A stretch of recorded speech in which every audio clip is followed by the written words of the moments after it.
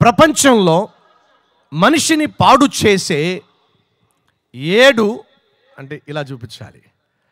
ఏడు ప్రమాదకరమైన పాపములు ఉన్నాయి.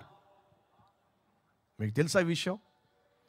ప్రపంచంలో మనిషిని పాడు చేసే మనిషి మనిషిగా జీవించకుండా చేసే మనిషి సుఖ సంతోషాలతో బ్రతకకుండా చేసే ఏడు ప్రమాదకరమైన పాపాలున్నాయి. దయచేసి గమనించండి. పాపము చేసేవాడికి కులంతో సంబంధం లేదు మతంతో సంబంధం లేదు జాతితో సంబంధం లేదు దేశముతో సంబంధం లేదు భాషతో సంబంధం లేదు. పాపము చేసేవాడు తన పాపిష్టి ప్రవృత్తిని బట్టి పాపిష్టి పని చేస్తాడు.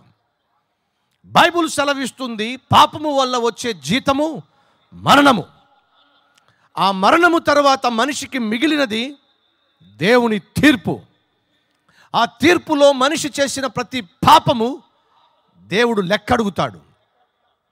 ఈ లోకంలో మనిషి తప్పు చేసి పాపము చేసి తప్పించుకొని తిరగచ్చు కానీ కానీ పరలోకంలో ఉన్న దేవుని ఎదుట మాత్రం పాపిష్టి మనిషి పాపము చేసి తప్పించుకుని తిరిగే అవకాశము లేదు. ఏదో ఒక రోజు మనిషి దేవునికి దొరకాల్సిందే. ఆ రోజు నువ్వు పాపిష్టివాడిగా దేవునికి దొరికావు అంటే ఖచ్చితమైన శిక్ష పడుతుంది. ఆ శిక్షే నరకము అని బైబిల్ సెలవిస్తుంది. కానీ మనము దేవుని స్వరూపమందు సృష్టించబడ్డాం గనుక దేవుడు మనల్ని బహుగా ప్రేమిస్తున్నాడు గనుక మనము నరకానికి వెళ్ళడము ఇష్టం లేదు గనుక మన పాపములను మనం గ్రహించి వాటిని ఒప్పుకొని విడిచిపెడితే కనికరం పొందుకుంటాం. కాబట్టి రాత్రి సాధ్యమైనంత వరకు బహు త్వరగా ఈ ఏడు ప్రమాదకరమైన పాపముల గురించి చెప్తాను.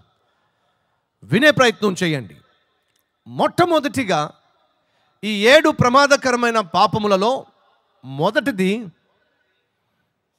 చాలా విచిత్రమైంది.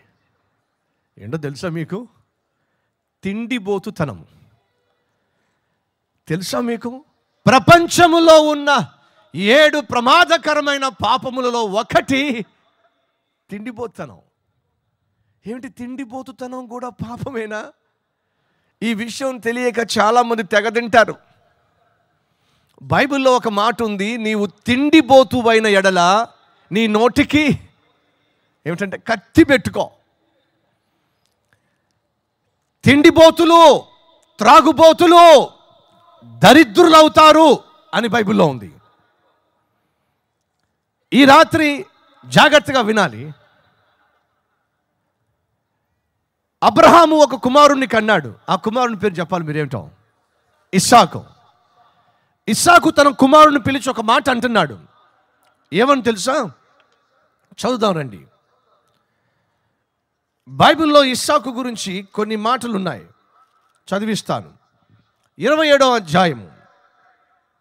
ఇస్సాకు వృద్ధుడై అతని కనులకు మంద దృష్టి కలిగినప్పుడు అతడు తన పెద్ద కుమారుడిని ఏషాబుతో నా కుమారుడా అని అతను పిలువగా అతడు చిత్తము నాయన అని అతనితో అనెను. అప్పుడు ఇస్సాకు నేను ఇదిగో వృద్ధుడను. నా మరణ దినము నాకు తెలియదు. కాబట్టి నీవు బయలుదేరి నీవు దయచేసి నీ ఆయుధములైన నీ అంబుల పొదిని నీ విల్లును తీసుకొని అడవికి పోయి నా కొరకు వేటాడి మాంసము తెమ్ము. నేను చావక మునుపు నిన్ను ఆశీర్వదించున్నట్లు నాకిష్టమైన రుచిగల భోజ్యములను సిద్ధపరిచి నేను తినుటకు నా యొద్దకు తెమ్మని చెప్పాను. ఎవరు చెప్పారు? చెప్పాలి. ఇస్సాకు నేను ఏ ఒక్కరిని విమర్శించే ఉద్దేశంతో ఈ రిఫరెన్స్ చదివించలా? కానీ బైబిల్లో దేవుడు ఖచ్చితంగా ప్రతి ఒక్కరి గురించి రాయించాడు. వినండి. అబ్రహాము వృద్ధాప్యానికి వచ్చినప్పుడు తన కుమారుడైన ఇస్సాకుకు ఇంకా వివాహం కాలేదని బహుగా పరితపించాడు. అయ్యో నా కుమారుడు సెటిల్ కాలేదే. నా కుమారునికి ఇంకా వివాహం కాలేదే అని చెప్పి వివాహం గురించి ఆశించాడు. తన సేవకుణ్ణి పంపించాడు. దేవుని చిత్తము కొరకు కనిపెట్టాడు. దేవుడు తన మహాకృపను బట్టి రిబ్కాను పంపించాడు. ఇస్కా ఇస్సాకు రిబ్కాను వివాహం చేసుకున్నాడు. ఇస్సాకు బహు ఆత్మీయుడు యవన ప్రాయంలో. తండ్రి యొక్క ఆత్మీయతను పంచుకున్నాడు. తండ్రి గురించి బాగా తెలిసినవాడు. తన తండ్రి వృద్ధాప్యంలో ఏ రీతిగా దేవుణ్ణే సేవించాడో గ్రహించినవాడు. కానీ వినండి ఇప్పుడు ఇస్సాకు వృద్ధాప్యానికి వచ్చాడు. ఇస్సాకు వృద్ధాప్యానికి వచ్చినప్పుడు దేని గురించి ఆలోచించాలి? కుటుంబం గురించి ఆలోచించాలి. ఆనాడు అబ్రహాము వృద్ధాప్యానికి వచ్చినప్పుడు తన కుమారుని గురించి ఆలోచించాడు. ఇప్పుడు ఇస్సాకు తన వృద్ధాప్యానికి వచ్చినప్పుడు తన బిడ్డల గురించి ఆలోచించాలి. ఇస్సాకుకు ఎంతమంది పిల్లలు? ఇద్దరు. ఎవరు వాళ్ళు? యాకోబు ఏషావు. వినండి. అబ్రహాము తన కుమారుని గురించి ఆలోచించాడు వృద్ధాప్యమందు. ఇస్సాకు మాంసం గురించి ఆలోచించాడు తన వృద్ధాప్యమందు. తిండి గురించి ఆలోచించాడు తన వృద్ధాప్యమందు. అంటున్నాడు ఏషావును పిలిచి నాయనా నేను చనిపోవ చనిపోక మునుపో కాస్త రుచికరమైన భోజనం చేస్తా. ఇస్సాకు తిండి మీద ధ్యాస పెట్టాడే కానీ యాకోబునకు ఏషావునకు పట్టల్లా. ఏషావుకు యాకోబుకు సమాధానం లేదు. ఇద్దరి మధ్య సఖ్యత లేదు. ఇస్సాకు ఇల్లు రెండుగా డివైడ్ అయిపోయింది. ఆ ఇల్లు రెండు పార్టీలు అయిపోయింది. ఇస్సాకు పార్టీ ఒకటి రిప్కా పార్టీ ఒకటి. ఇస్సాకు ఏషావు ఒకటి. చెప్పాలి. రిప్కా యాకోబు ఒకటి. ఇంటిలో రెండు పార్టీలు ఉన్నాయి. ఇంటిలో డివిజన్ ఉంది. ఇద్దరు కుమారుల మధ్య సఖ్యత సమాధానం లేదు. ఇస్సాకు ఇల్లు కట్టబడలేదు. వృద్ధాప్యానికి వచ్చినప్పుడు ఇస్సాకు ఆలోచించాల్సింది తన కుటుంబాన్ని కట్టుకోవడం. ఈరోజు అడుగుతున్నాను సహోదరుడా సహోదరి నీ ఇంటిలో సమాధానం ఉందా? నీ ఇంటిలో సఖ్యత ఉందా? నీ కుమారుల మధ్య నీ కుమార్తెల మధ్య ప్రేమ అనురాగము ఉందా? భర్తగా భార్యగా మీ ఇద్దరి మధ్య సఖ్యత సమాధానం ఉందా? సంతోషం ఉందా? ఒకరి పట్ల ఒకరికి అవగాహన ఉందా? ఇస్సాకేమో ఏషావును ప్రేమిస్తున్నాడు రిప్కా ఏమో యాకోబును ప్రేమిస్తుంది. తల్లి తండ్రే వారు ప్రేమించే ప్రేమలో కూడా పార్షియాలిటీ చూపిస్తున్నారు. ఆత్మీయతేనంటారా? ఇది అంగీకరించవలసిన విషయమని అంటారా కానే కాదు.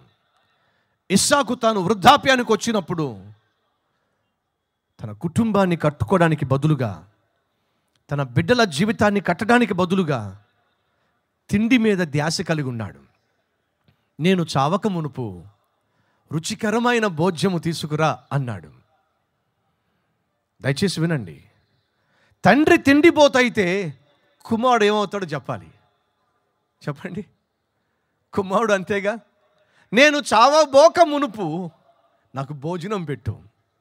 ఇప్పుడు చూద్దాం రండి. ఇరవై ఐదో వచ్చినము ఇరవై ఐదో వచ్చినము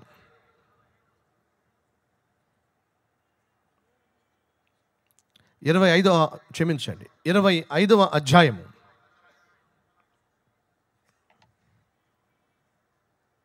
ముప్పై ఒకటవ వచనము. అందుకు యాకోబు నీ జ్యేష్ఠత్వము నే- నీ జ్యేష్ఠత్వము నేడు నాకిమ్మని అడుగగా ఏషావు నేను చావబోచున్నాను.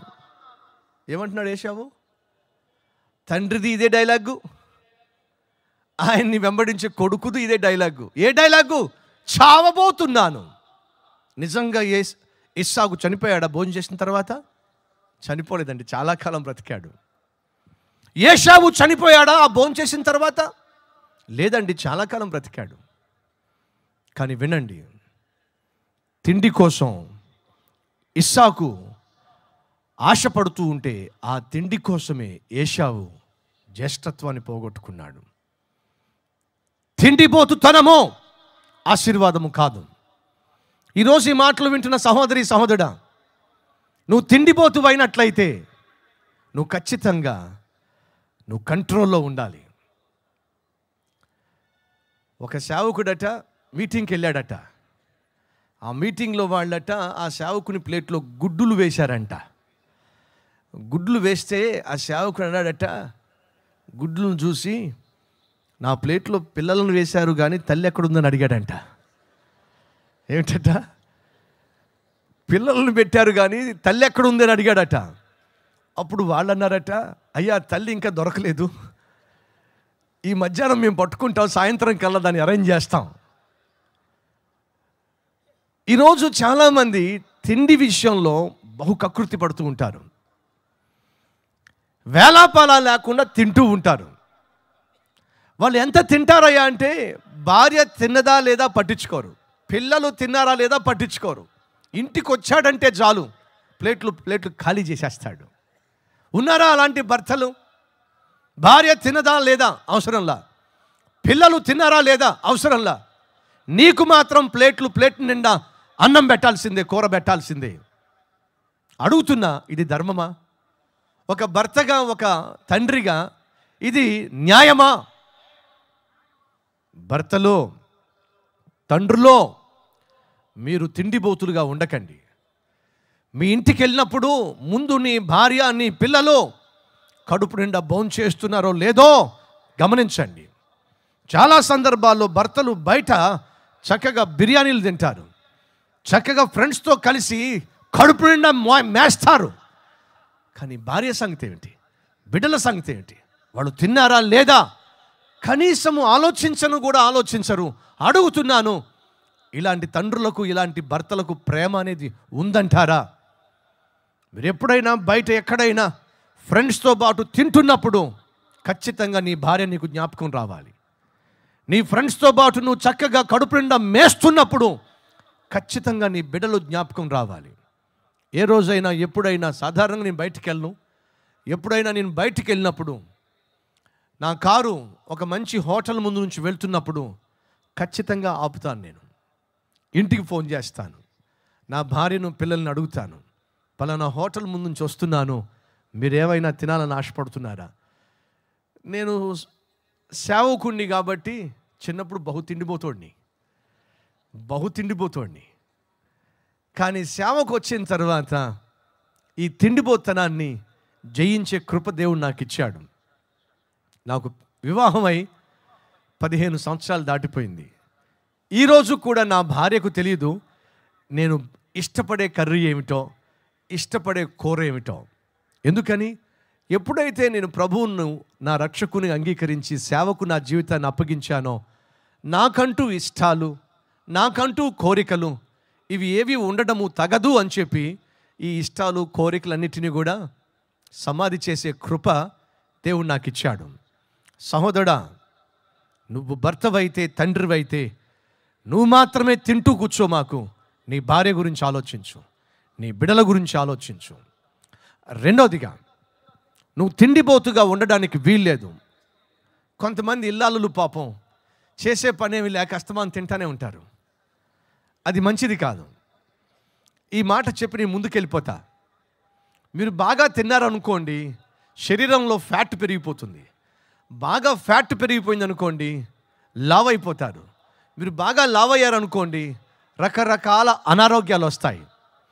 ఈ రకరకాల అనారోగ్యాల వల్ల మీ కుటుంబంలో భార్యగా లేక భర్తగా చక్కని బాధ్యతలు నిర్వర్తించలేకపోతారు. కొన్ని సందర్భాల్లో శరీర తత్వం ఏమిటంటే మీరు ఎక్కువ తినకపోయినా శరీర తత్వాన్ని బట్టి లావ్ అవుతారు వాళ్ళ గురించి నేను మాట్లాడట్లా. సాధారణంగా ఎక్కువ తినడం వల్ల లావ్ అవ్వడం వల్ల నష్టం. ఇలా పడి పడి పడి పడి తిని ఒక అతను బాగా లావ్ అయిపోయాడు అలా లావైపోతే అయిపోతే ఒకసారి నా బరువెంతో చూసుకుందామని చెప్పి అందరూ లైన్లో నిలబడ్డారు. ఎక్కడ? బరువు చూసే మిషన్ దగ్గర. ఒక్కొక్కరి తర్వాత ఒక్కొక్కరు వెళ్ళి రూపాయి కాయిన్ వేసి బరువు చూసుకుంటున్నారు. మన బ్రదర్ కూడా లావుగా ఉన్న బ్రదర్ కూడా వెళ్ళి రూపాయి కాయిన్ అందులో వేసి పైకెక్కి నిలబడ్డాడు. అప్పుడు వెంటనే లోపల నుంచి టికెట్ బయట వచ్చింది ఏమని తెలుసా? ఒక్కొక్కసారి ఒక్కొక్కడే పైకెక్కాలి. ఇద్దరు ముగ్గురు ఎక్కకూడదని వచ్చింది. ఎందుకని? దానికే భయం వేసింది. ఇద్దరు ముగ్గురు ఎక్కేశారని చెప్పి. వాస్తవంగా ఇద్దరు ముగ్గురు ఎక్కలా ఒకడే ఎక్కాడు. కాబట్టి పర్సనాలిటీ అలా ఉంది. ఆరోగ్యం పాడైపోతుంది. మీ ఆరోగ్యం బాగుండాలి అంటే మీ తిండి విషయంలో జాగ్రత్తగా ఉండాలి. అమ్మ సిస్టర్సు మీరు వంట చేస్తారా? లేదండి మా ఆయనే చేస్తాడు. మహా అదృష్టం. ఆ తర్వాత విషయాలు మాట్లాడతాను. మీరు మిక్సీ వాడతారా? వంట చేసేటప్పుడు మిక్సీ వాడతారా? సరే. అందులో పిండి వేస్తారా? పిండి వేసినప్పుడు మీరు వేసినటువంటి పిండి కావచ్చు మిక్సీ చేయాలనుకుంటున్న పదార్థం కావచ్చు నిండుగా వేస్తారా? కొంచెం గ్యాప్ ఇస్తారా? చెప్పాలి. ఇంతన్నా గ్యాప్ ఇస్తారా? ఇస్తారా? ఇవ్వరా? గ్యాప్ ఇస్తారు. ఈ గ్యాప్ ఇచ్చి ఏం చేస్తారు? కొంచెం నీళ్ళు పోస్తారు. అవునా కదా? ఎందుకు గ్యాప్ ఇచ్చి నీళ్ళు పోస్తారు? లోపల తిరగాలి కదా. లోపల తిరగడానికి ఏం చేస్తారు? కొంచెం గ్యాప్ ఇచ్చి కొంచెం నీళ్ళు పోస్తే లోపల మిషన్ తిరిగిద్ది. చక్కగా అరిగిద్ది. బ్రదర్స్ అండ్ సిస్టర్స్ మనం అందరం భోజనం చేయాలి. ఇక్కడ దాకా చేయకూడదు. కొంతమంది భోంచేస్తే చేస్తే ఒక తేనుపు పోస్తే చాలు. రెండు మూడు ముక్కలు కూడా బయటకు వస్తాయి. ఎందుకని ఆ ముక్కలు లోపలికి వెళ్ళా ఇక్కడ అడ్డుపడిపోయినాయి. అంత తినేస్తారు. మీరు ఆ విధంగా ఇక్కడ దాకా పీకల దాకా తినేశారు అనుకోండి ఇంక లోపల మిషన్ తిరగదు. మిక్సీ తిరగాలంటే ఏం ఉండాలి గ్యాప్ ఉండాలి. లోపల తిరగాలంటే ఏం ఉండాలి గ్యాప్ ఉండాలి. ఇక నుంచి మీరు తిండిపోతులుగా ఉండడానికి వీల్లేదు. కొంచెం గ్యాప్ మెయింటైన్ చేయండి. ఎందుకని? మీరు తిండిపోతులుగా ఉన్నట్లయితే ఈ దేహము దేవుని ఆలయము ఆరోగ్యం పాడైపోయినప్పుడు మీరు జీవించవలసినటువంటి సంతోషకరమైన జీవితాన్ని జీవించలేరు. కాబట్టి మొదటిగా తిండి విషయం జాగ్రత్త వహించండి. ఒకవేళ నువ్వు తిండిపోతుగా ఉన్నావు అనుకోండి ఆ తిండిపోతులకు సహజంగా వచ్చే రెండవ రోగం ఏమిటంటే సోమరితనం. ప్రపంచంలో ఉన్న ఏడు ప్రమాదకరమైన పాపములలో రెండవది ఏమిటంటే సోమరితనం. తిండిపోతులు ఏమవుతారు? సోమరిపోతులు అవుతారు. సోమరిపోతులు నిద్రపోతులు అవుతారు. ఈ ముగ్గురు తిండిపోతుడు తిండిపోతులు సోమరిపోతులు నిద్రపోతులు. పోతు అనే మాట సాధారణంగా పురుష పదం. మరి సహోదరులు మీరు తిండిపోతులు అంటే ఏమనాలి? మీరు తిండిపోతులైతే మీరు నిద్రపోతులైతే మీరు సోమరిపోతులైతే ఏమనాలి? ఏమో మీరే పెట్టాలి ఆ పేరేదో. వినండి. మొదటిగా తిండిపోతుతనం ప్రమాదం. నువ్వు తిండిపోతు అయ్యావనుకో ఆటోమేటిక్గా సోమరిపోతు అవుతావు సహోదరులు సహోదరులు సోమరితనము దరిద్రం. వింటున్నారా? సోమరితనం దరిద్రం. చదువుకుంటున్న స్టూడెంట్స్ చక్కగా చదువుకోవాలంటే వాళ్ళు యాక్టివ్గా ఉండాలి అలర్ట్గా ఉండాలి. సోమరిపోతులు సాధారణంగా చదువుకోలు సోమరిపోతులు సాధారణంగా చక్కగా ఉద్యోగాలు చేయరు. సోమరిపోతులు సాధారణంగా చక్కగా కాపురం కూడా చేయరు. సోమరిపోతుతనాన్ని సింపుల్గా తీసుకోమాకండి. అది ఇంటికి దరిద్రం. నీ జీవితానికి శాపం. ఒకరోజు నా దగ్గరకు ఒక తల్లి వచ్చింది. వచ్చి అంటుంది అయ్యా మంచోడు మంచోడు అని చెప్పి ఇతర దేశంలో లక్షలు సంపాదిస్తున్నాడని చెప్పి అల్లారు ముద్దుగా పెంచిన మా అమ్మాయిని అతనికిచ్చి పెళ్ళి చేశాం. సరే ఏమైందమ్మా? ఆరు నెలల తర్వాత మా అమ్మాయిని పుట్టింటికి పంపించేశాడు. ఎందుకు పంపించేశాడు? అతడు అంత పాత తరం క్యాండిడేట్ అయ్యా. ఏంటమ్మా? పాత తరం మనిషి అయ్యా. పాత తరం మనిషి కాబట్టి మా అమ్మాయి ఆ అబ్బాయితో ఇమడలేకపోయిందయ్యా. పాత తరం మనిషి కాబట్టి మా అమ్మాయిని ఇంటికి పంపించేశాడయ్యా. ఇదే మాట పాత తరం అంట. ఉండబట్టలేక అడిగేశా అమ్మ ఇంతకీ పాతతరం అంటున్నావు మీ అల్లుని పట్టుకొని? ఇంతకీ ఎందుకని అతన్ని పాత తరం అంటున్నావు? ఆ తల్లి చెప్తుంది లేకపోతే ఏంటయ్యా? పొద్దున్నే లేస్తాడంట. పొద్దున్నే లేచి మా అమ్మాయిని కూడా లేవమంటాడంట. అయితే ఏంటయ్యా ఇంత చదువుకున్న తర్వాత ఇంత కట్నం తీసుకున్న తర్వాత పొద్దున్నే లేవటం అంటే ఎవరికైనా కష్టం కదయ్యా? అమ్మ మీ అల్లుడు ఏమంటున్నాడు? మా అమ్మాయిని పొద్దున్నే లేవమంటున్నాడు. మరి మీ అమ్మాయి? అసలు మా అమ్మాయికి అలాంటి అలవాటే లేదు. ఆహా మరి ఏమంటున్నాడమ్మా తర్వాత? పొద్దున్నే లేవమంటాడు చక్కగా చీర కట్టుకోమంటాడు. ఆలోచించండి ఏం కోరుతున్నాడు అల్లుడు? పొద్దున్నే లేవమంటున్నాడు చక్కగా స్నానం చేయమంటున్నాడు చక్కగా చీర కట్టుకోమంటున్నాడు చక్కగా ఇంటి పని వంట పని చేయమంటున్నాడు. ఏమిటోనయ్యా పాతకాలపు అల్లుడయ్యా? నాకు భలే కోపం వచ్చింది. అమ్మా అతడు పాతకాలపు అల్లుడు కానే కాదు. మనమే. తల్లి నువ్వే. నీ కూతుర్ని సోమరపోతం చేశావు. పొద్దున్నే కూతుర్ని లేపడానికి బదులుగా పొద్దుటే నీ కూతుర్ని లేవకుండా లేపకుండా సోమరిని చేశావు. పెళ్ళయిన తర్వాత భర్త ఇంటి ఉద్యోగానికి వెళ్తున్నప్పుడు ప్రొద్దుటే లేవటము పాత తరమా? అడుగుతున్నాను సహోదరులు మీలో ఎంతమంది సోమరి? అంటే మళ్ళీ బాధపడతారేమో. ఎంతమంది ఉదయమే లేచేటటువంటి అలవాటు కలవారో చేచూపించండి ఉదయమే లేస్తామండి మేము. ఏమి నిజమే? అయితే ఫోర్ ఇయర్స్ తర్వాత నేను రానవసరంలా ఒక ఇల్లాలు ఉదయమునే లేవడము ఆ ఇంటికి ఆశీర్వాదము. ఏ ఇల్లాలైతే ఉదయము లేవదో ఆ ఇంటికి ఆమె దరిద్రం. ఆ ఇంటికి ఆమె శాపం. ఈ తల్లి అంటుంది నా కూతురు పొద్దున్నే లేవాలంటయ్యా. లేచిన వెంటనే చక్కగా స్నానం చేయాలంటయ్యా చక్కగా చెరగట్టుకోవాలంటయ్యా. చక్కగా వంట చేయాలంటయ్యా. ఏమిటయ్యా ఇది? ఓరి ఓరి ఓరి ఓరి. ఇది పాత తరమా? కాదండి. ఇది కుటుంబాన్ని కట్టుకునే విధానం. తల్లులు ఒక కూతురు అని చెప్పి గారాభంగా పెంచమాకు. నీ గారాభం నీ ఇంట్లో చెల్లుతుంది. కానీ మెట్టినింటికి వెళ్ళినప్పుడు ఈ గారాభమే నీ కూతురు కాపరాన్ని చీల్చి పడేస్తుంది కూల్చి పడేస్తుంది కాబట్టి నీ ఇంటిలోనే నీ పిల్లలకు చిన్నప్పటి నుంచి ఉదయమే లేవడం నేర్పించు. సోమరితనాన్ని నీ బిడ్డలు జయించే విధంగా చెయ్యి తల్లులు తండ్రులు ఉదయమును లేవడము. బిడ్డలను కూడా లేపటము. ఉదయము లేచిన వెంటనే ప్రభు సన్నిధిలో మోకరించటము.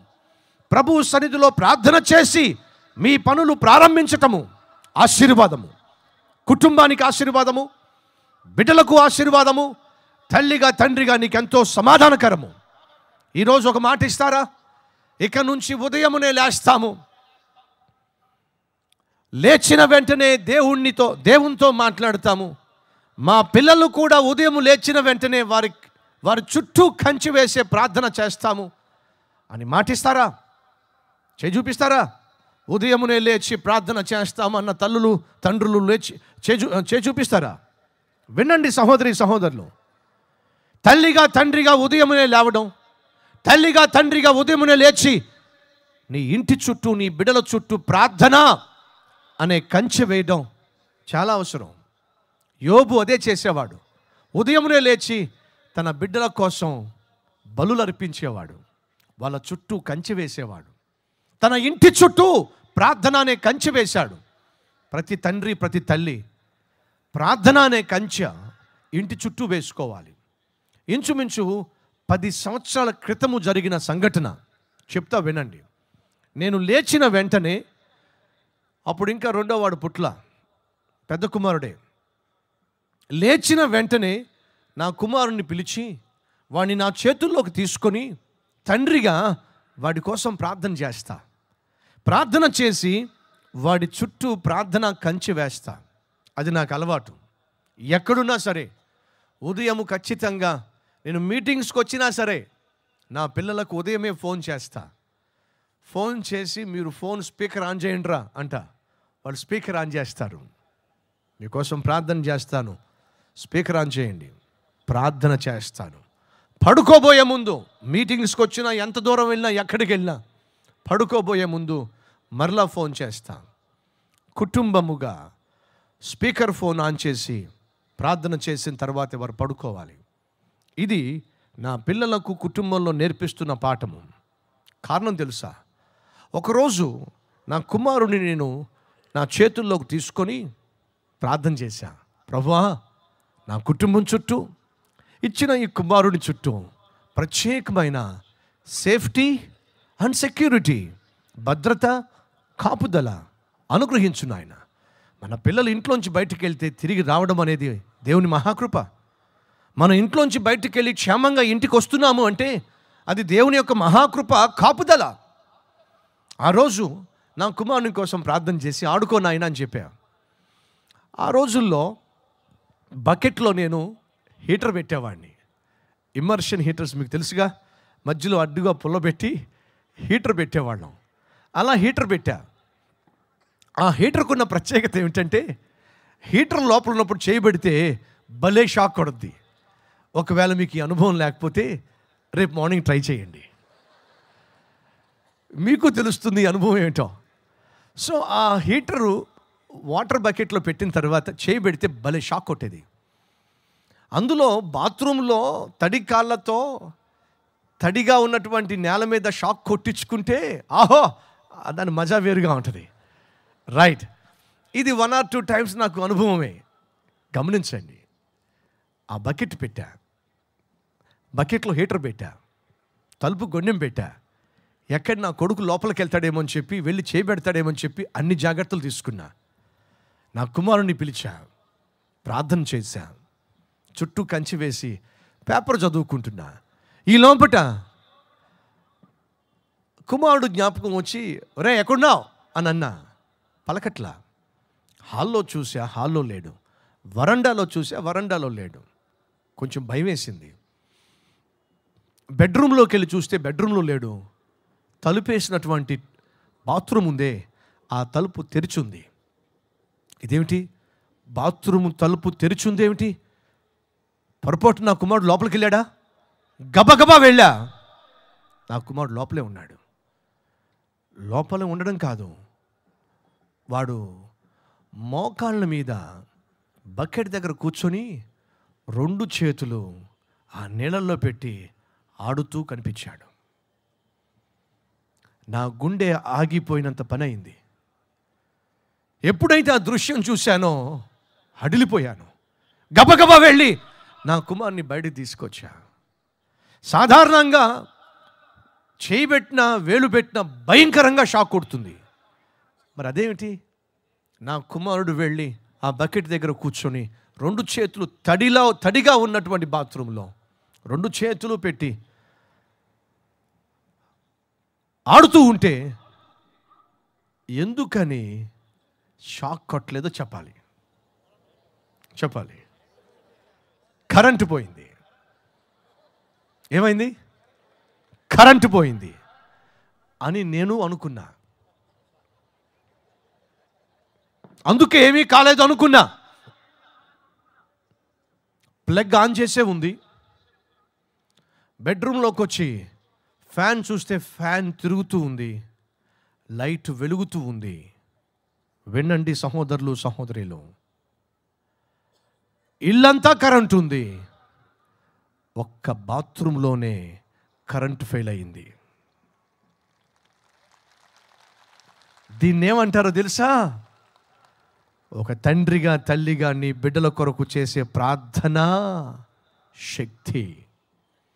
కాబట్టి చెప్తున్నా నువ్వు నీ బిడ్డలను ప్రేమించే తండ్రివైతే ప్రేమించే తల్లివైతే ఉదయమునే నీవు లేవాలి.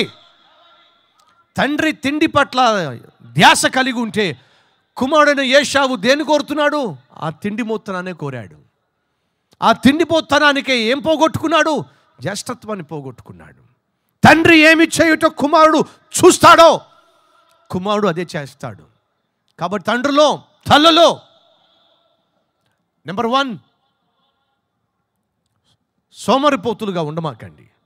లేదా తిండిపోతులుగా ఉండమాకండి. Number two సోమరిపోతులుగా ఉండమాకండి. సోమరితనం వల్ల చదువు పాడవుతుంది. సోమరితనం వల్ల ఉద్యోగాలు పాడవుతాయి. ఉద్యోగాల్లో ఎవరు కావాలి? పని చేసేవాళ్ళు కావాలి. అంతేనా? ఉద్యోగంలో ఎవరు కావాలి? ఉద్యోగ ఉద్యోగం ఆ కంపెనీ వాళ్ళకు ఎవరు కావాలి? పని చేసేవాళ్ళు కావాలి. కష్టపడి పని చేసేవాళ్ళు కావాలి. నువ్వు కష్టపడి పనిచేసేవాడివి కాకపోతే ఎప్పటికీ నీవు వర్ధిల్లనే వర్ధిల్లవు. బైబుల్ సెలవిస్తుంది నీ చేతికి ఇవ్వబడిన పనిని శక్తి వంచన లేకుండా నువ్వు చేయాలి. ప్రతి క్రైస్తవుడు ఉద్యోగంలో కష్టపడి పనిచేయండి. ఏ ఉద్యోగం చేస్తున్నావో ఆ ఉద్యోగంలో. నువ్వు టీచర్ అయితే నువ్వు లెక్చరర్ అయితే ప్రొఫెసర్ అయితే ఒక కంపెనీ ఎంప్లాయీ అయితే ఒక ఆఫీస్లో గుమస్తావు అయితే నువ్వు ఒక ఆఫీసర్ అయితే నువ్వు ఎక్కడ ఎక్కడ పనిచేసినా కష్టపడి పనిచేయాలి క్రైస్తవులు కష్టపడి పనిచేసేవాళ్ళు పక్క వాళ్ళతో కబుర్లు పెట్టుకొని పని చేసేవాడిని కూడా పాడు చేసేవాళ్ళు అని క్రైస్తవులకు పేరు రావడానికి వీలు లేదు. ప్రతి క్రైస్తవుడు కష్టపడి పనిచేయాలి ఏ కంపెనీలో నువ్వు పనిచేస్తున్నావో ఆ కంపెనీ వాళ్ళు నిన్ను చూసి సంతోషించాలి. వాళ్ళు ఒక ఆలోచనకు రావాలి. ఇలాంటి భక్తిపరుడు ఇద్దరు ముగ్గురు ఉంటే ఎంత బాగుండు? ఇలాంటి క్రైస్తవులు ఇద్దరు ముగ్గురు మా కంపెనీలో ఉంటే ఎంత బాగుండు? అనేటటువంటి అభిప్రాయాన్ని నువ్వు కలిగించాలి. క్రైస్తవ సహోదరి సహోదరులు సోమరిపోతులుగా ఉండమాకండి. తిండిపోతులుగా ఉండమాకండి. కష్టపడి పనిచేసేవారిగా ఉండండి. అది దేవుని యొక్క ఉద్దేశము. మూడోదిగా ప్రపంచములో మనిషిని పాడు చేసే ఏడు ప్రమాదకరమైనటువంటి పాపములలో మూడోది కోపము. జాగ్రత్తగా వినండి. ఈ తిండిపోతులకు కొంచెం రుచి తక్కువైతే భలే కోపం. ఈ తిండిపోతులకు కొంచెం ప్లేట్లో అన్నం తక్కువైతే భలే కోపం. ఈ సోమరిపోతులకు ఏదైనా కాస్త తక్కువైతే భలే కోపం. వినండి సహోదరి సహోదరులు నరుని కోపము దేవుని చిత్తమును జరిగించదు. బైబుల్ సెలవిస్తుంది కోపము మానుము ఆగ్రహము విడిచిపెట్టుము. ఈరోజు మనలో చాలామంది కోపముతో రగిలిపోతూ ఉంటారు. అయిన దానికి కాని దానికి కోప్పడిపోతూ ఉంటారు. కోపాన్ని ప్రదర్శిస్తూ ఉంటారు. మంచిది కాదు. ఎప్పుడు ఎన్నడూ ఎక్కడా కూడా కోపము ఎవరికీ మేలు చేయదు. మీరు జాగ్రత్తగా ఆలోచించండి. కోపము ఇంగ్లీష్లో యాంగర్ అంటారు. తెలుసా మీకు? కోపాన్ని ఇంగ్లీష్లో యాంగర్ యాంగ్రీ అంటారు యాంగర్ అందాం. డేంజర్ అనే పదం చూసారా? డిఏఎన్జిఈఆర్ డేంజర్ ఆ డేంజర్లో డి తీసేయండి. ఏం కనిపిస్తుంది? యాంగర్. ఏం కనిపిస్తుంది? యాంగర్. Anger is danger. కోపము ప్రమాదము. త్వర త్వరగా చెప్పేస్తా వినండి. దేవుడు మోషతో మాట్లాడి నువ్వు రా. నిన్ను ఇస్రాయేలులకు నాయకుడిగా చేసి వారిని వాగ్దాన భూమికి నడిపిస్తారా అని పిలిచాడు. పిలవక మునుపు మీకు జ్ఞాపకం ఉందా? ఐగుప్తు దేశములో ఇదే మోషే ఒక హెబ్రియుణ్ణి ఐగుప్తియుడు కొడుతున్నప్పుడు ఐగుప్తియుడిని ఏం చేశాడు? కోపంతో చంపిపడేశాడు. అంటే మోషేకు కోపం ఎక్కువ. బహుకోపం బహుకోపిష్టి. ఏంట్రా నువ్వు మా వాడిని కొడతావురా? నువ్వు మా వాడి జోలికి వస్తావురా? అని చెప్పి ఐగుప్తియుణ్ణి ఏదో కాస్త కొట్టబోతుంటే క్షమించండి. హెబ్రియుణ్ణి కొట్టబోతూ ఉంటే ఐగుప్తుని ఏం చేశాడట? చంపిపడేశాడు. మీకు తెలుసా మోషే? ఈ వాజ్ ఎ మర్డరర్ అతడు హత్య చేసినవాడు. చంపి! కప్పెట్టి పడేశాడు మోషే ఐగుప్తియుణ్ణి చంపి కప్పెట్టేశాడు. ఎవరికీ తెలియదు అనుకున్నాడు. ఫరోక్ తెలిసిపోయింది. పట్టుకోండి ఆ మోషన్ అన్నాడు. పారిపోయాడు. అరణ్యానికి వెళ్ళిపోయాడు. నలభై సంవత్సరాలు అరణ్యములోనే గొర్రెలను కాసుకుంటూ కాసుకుంటూ కాసుకుంటూ తన జీవితాన్ని గడిపాడు. ఈ గొర్రెలను కాసుకుంటున్న సమయంలో చాలా నేర్చుకున్నాడు ఆ పాఠాలు. మోషేను దేవుడు చూసి పిలిచాడు అయ్యా రా. రా. నా ప్రజలను ఐగుప్తు నుంచి విడిపిస్తారా నీ ద్వారా విడిపిస్తారా అన్నాడు. సహోదరులు సహోదరులు జాగ్రత్తగా వినండి. మోషేకు ఉన్న సహజమైన బలహీనత ఏమిటి? చెప్పాలి. కోపం. దేన్ని బట్టి అతడు ఐగుప్తు నుంచి పారిపోవాల్సి వచ్చింది? కోపాన్ని బట్టే. ఆ కోపాన్ని బట్టే అతన్ని చంపాడు కాబట్టే అతడు అరణ్యంలోకి పారిపోవాల్సి వచ్చింది. వినండి. ఇది మోషేలో ఉన్నటువంటి ఒక బలహీనత. సరే. ఇప్పుడు దేవుడు మోషేను ఎన్నుకున్నాడు ఏర్పరచుకున్నాడు? ప్రజలను విడిపించడానికి పిలిచాడు. ఇప్పుడు ప్రజలను నడిపిస్తున్నాడు. అరణ్యములో అనేక లక్షల మందిని పోషిస్తూ నడిపిస్తూ నాయకుడిగా ముందుకెళ్తున్నాడు. అలా వెళ్తున్నప్పుడు ఇస్రాయేలీలు మోషేతో గొడవ పడ్డారు. మాకు ఆ మాకు దాహం అవుతుంది నీళ్ళు కావాలి మమ్మల్ని చంపడానికి తీసుకొచ్చావా ఎరణ్యంలోనికి అని చెప్పి మోషేతో గొడవ పడ్డారు. సహోదరులు సహోదరులు జాగ్రత్తగా వినండి. మోషేకు సాధారణంగా ఒకప్పుడున్న బలహీనత ఏమిటి? చెప్పాలి. కోపం. అది ఎక్కడో లోపల ఉంది. ఇప్పుడు నీళ్ళు కావాలి అని గొడవ చేస్తే దేవుణ్ణి కలిశాడు. ప్రభు నన్నేం చేయమంటావు? అన్నాడు. నీవు నీ కర్ర పట్టుకుని వెళ్ళి బండతో మాట్లాడు అన్నాడు. బండను కొట్టమల్లా. బండతో మాట్లాడు బండలోంచి నీళ్ళు వస్తాయి అన్నాడు. అప్పుడు వెళ్ళి కర్రబట్టుకొని ఇస్రాయల్ను చూసి చాలా సంవత్సరాల క్రితము తనలో దాగి ఉన్నటువంటి ఆ బలహీనత ఒక్కసారిగా బయటికి వచ్చింది. అలా వచ్చినప్పుడు ఏమన్నాడు తెలుసా? ద్రోహులారా! మీకు బండలోంచి నీళ్ళు తీసుకురావాలా? అని చెప్పి నోరు జారాడు. ఆ బండను కోపంతో కొట్టేశాడు. కోపముతో బండను కొట్టినప్పుడు కొట్టమన్నాడా దేవుడు? మాట్లాడమన్నాడా? మాట్లాడమన్నాడు. ఏం చేశాడు కోపంతో?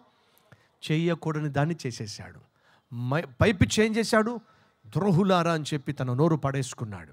సరే ఇప్పుడు వారికి కావలసినటువంటి నీళ్ళైతే బండలోంచి వచ్చేసినాయి.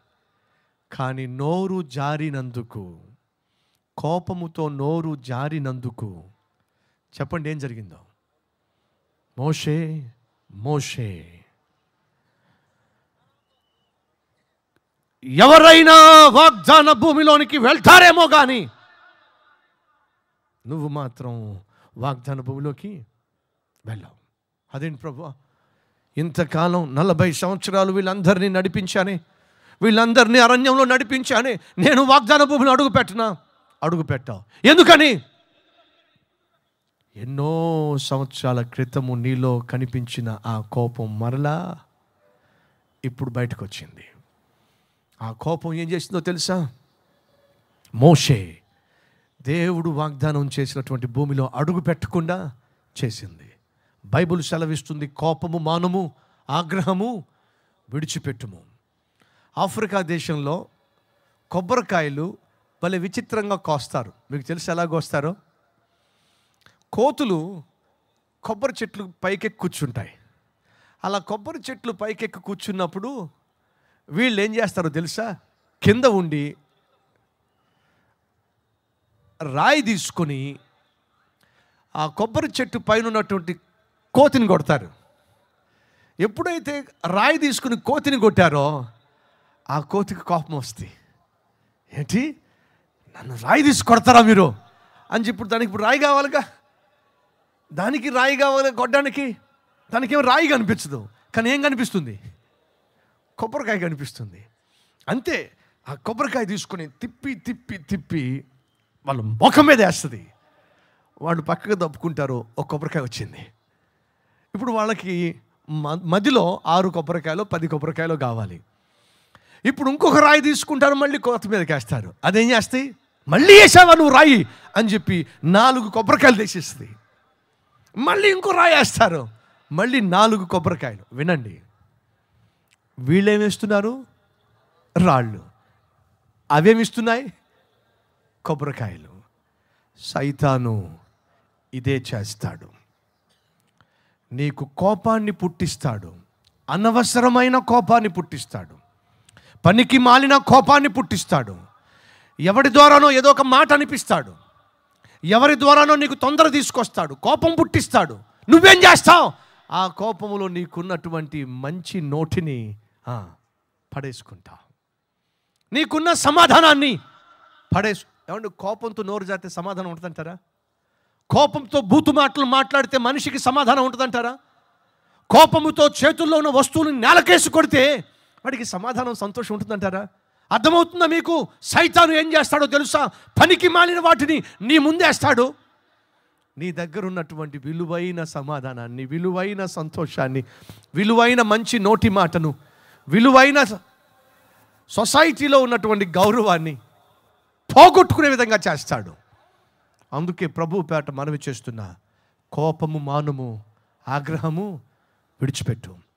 కొంతమంది భర్తలకు కోపం వస్తే భార్యలను చావగొట్టేస్తారు. కొంతమందికి భార్యలకు కోపం వస్తే ఏమిటది? భర్తలు జాగ్రత్తగా వినండి. ఒక విధంగా చెప్పాలంటే మీరు చాలా అమాయకులు. మీరేం చేస్తారో తెలుసా? భార్య మీద కోపం వచ్చి వంటగదిలోకి వెళ్తారు. ఏంటే? ఏమిటే? ఏమన్నా నువ్వు? అని చెప్పి గబగబా గబగబా ఎటువంటి ఆయుధములు ధరించకుండా.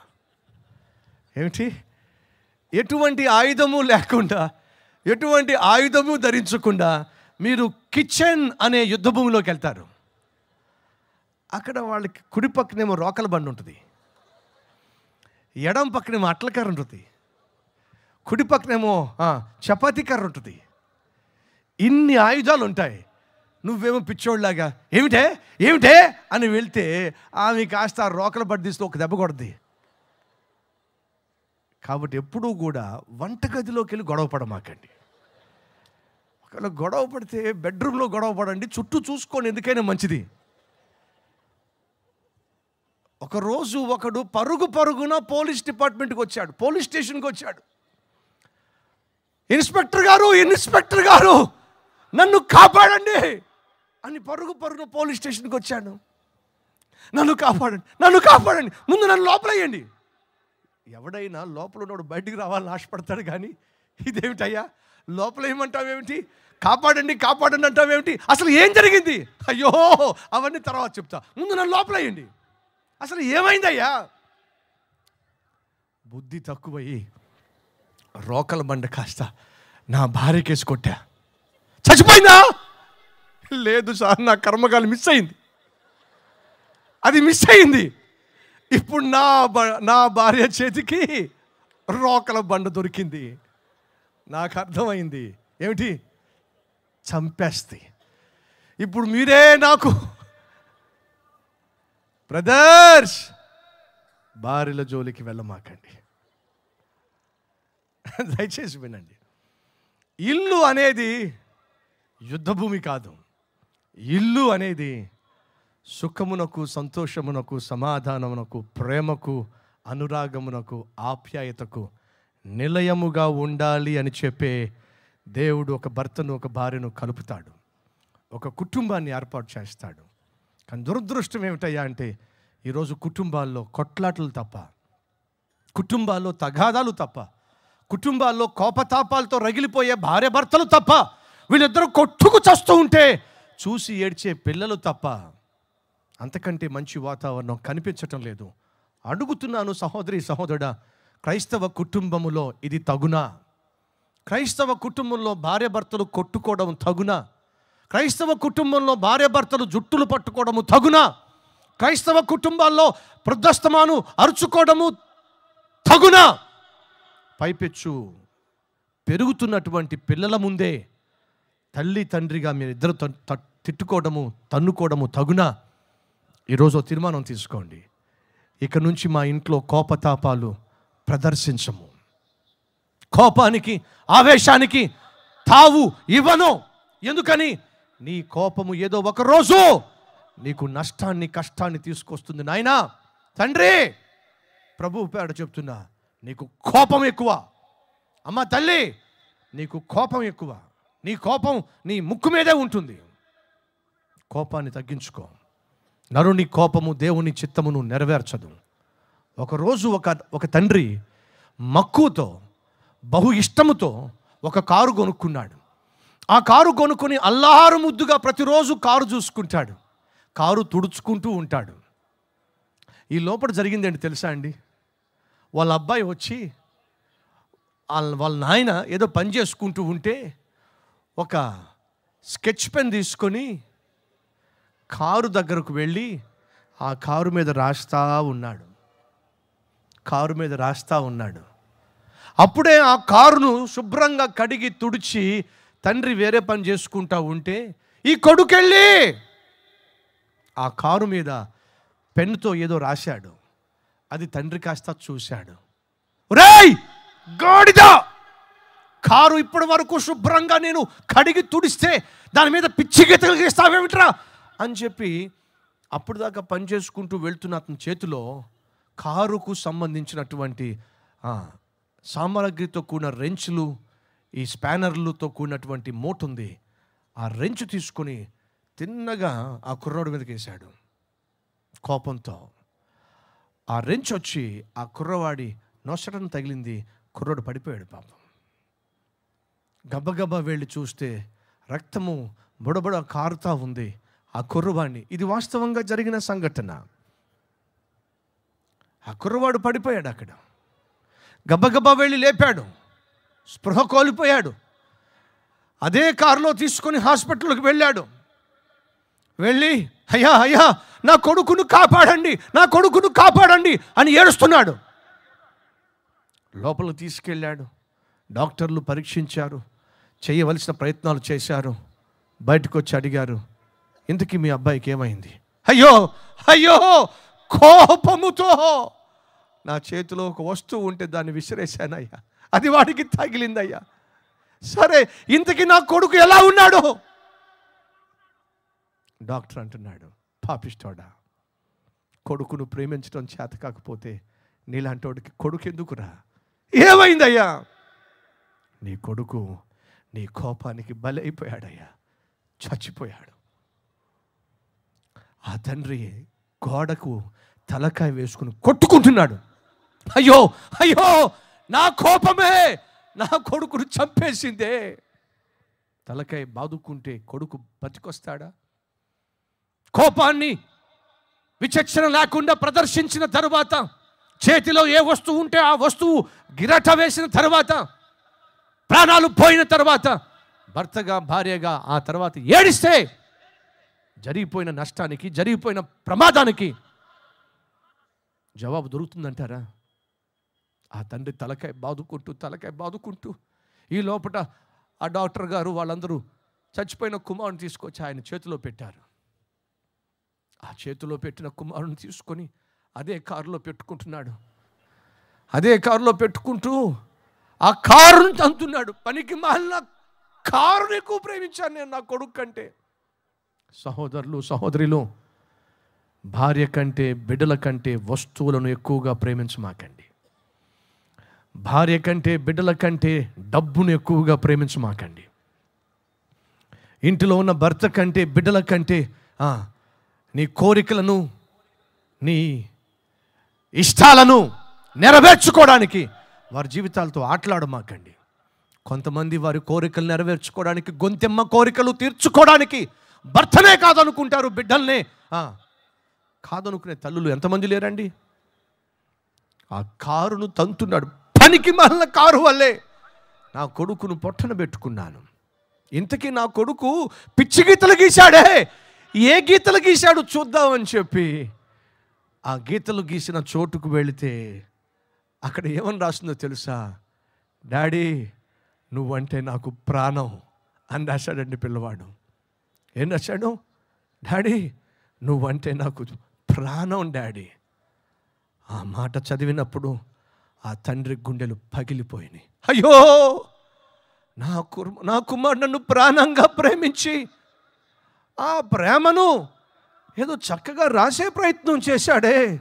అలాంటి కొడుకునే చంపేసుకున్నానే అని తలకాయ బాదుకున్నాడు.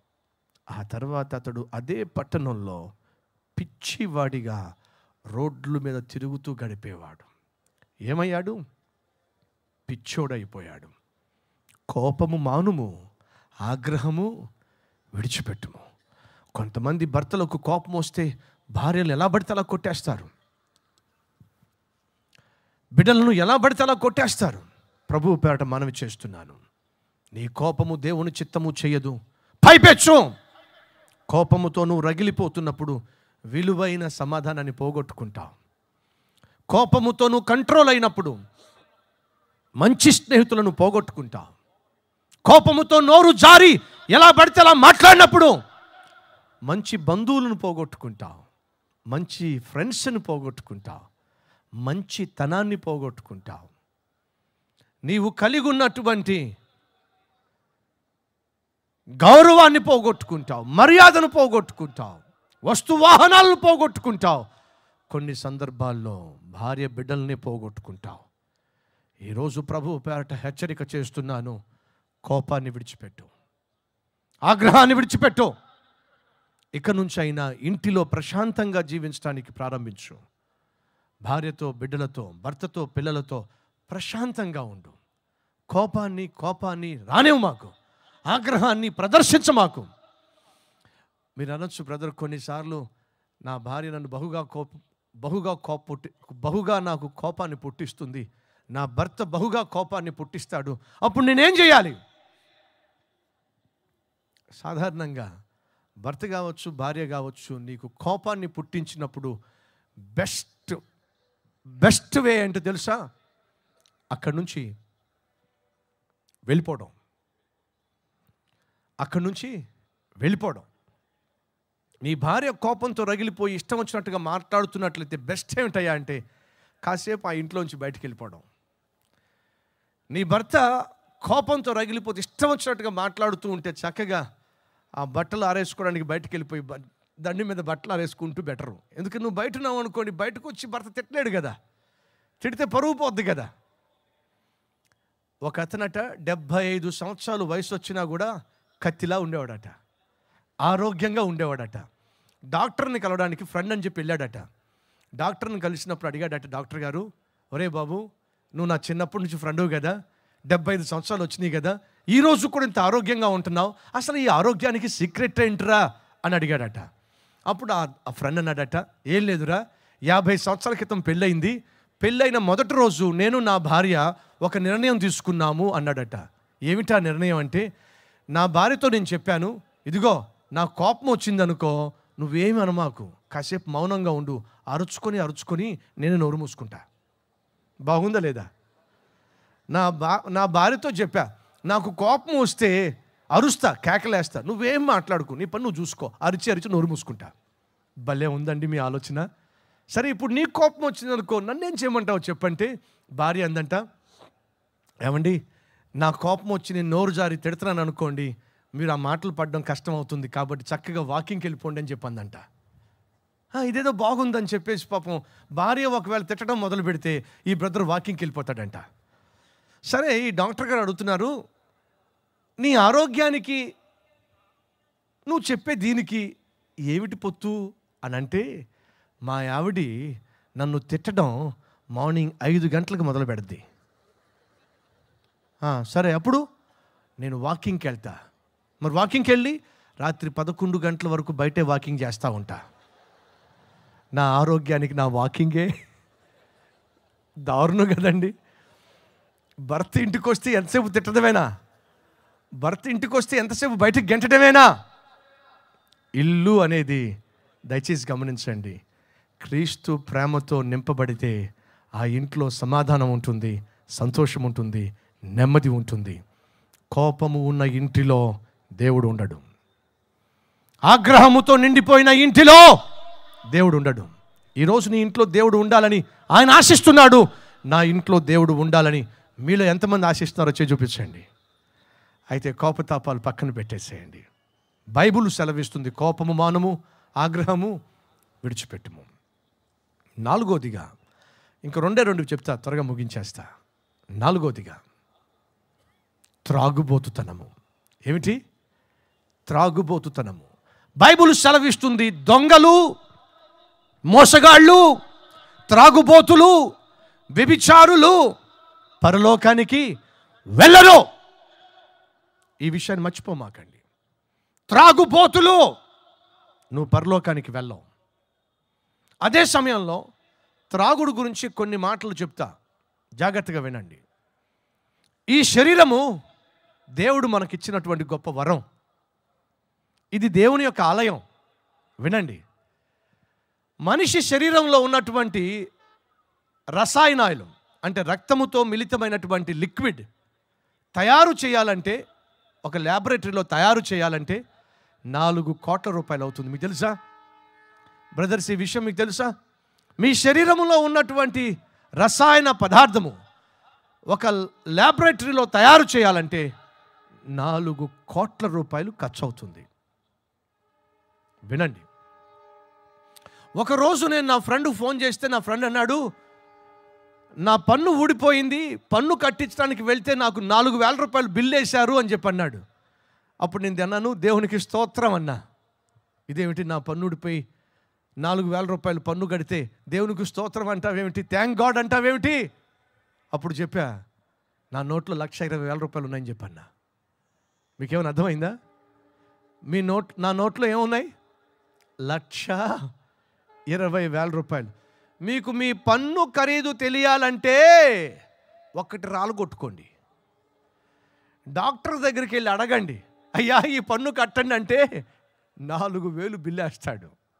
సహోదరులు సహోదరులు దేవుడిచ్చిన ఈ శరీరము ఎంత అద్భుతమైందండి.